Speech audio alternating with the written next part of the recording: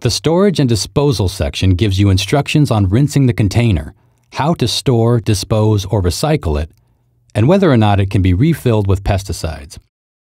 Never store pesticides near food or feed products.